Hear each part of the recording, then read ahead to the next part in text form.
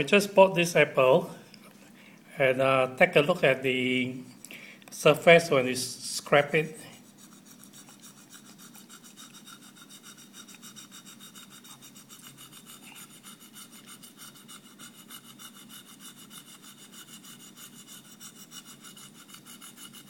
See there's a white stuff that's coming out from the skin of the apple.